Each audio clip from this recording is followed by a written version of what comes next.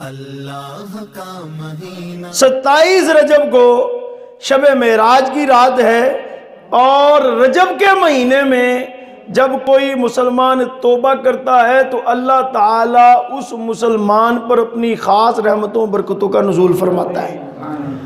اور روایت میں آتا ہے کہ رجب جو ہے وہ بیج بونے کا مہینہ ہے۔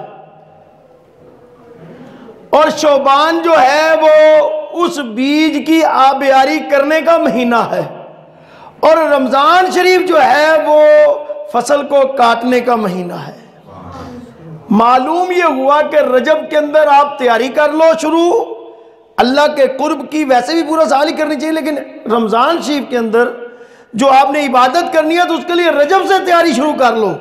صحابہ کرام کا معمول تھا کہ سال بھر کے معاملات، لین دین شوبان کی پندرہ سے قبل قبل ہر چیز کلیئر اور ختم کر لیا کرتے تھے۔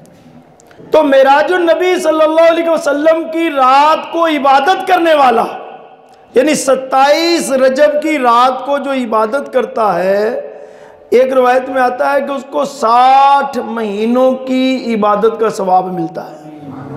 سنو، آ گیا رجب۔ رحمت قبولیت کا ابر چھا گیا ہے اب۔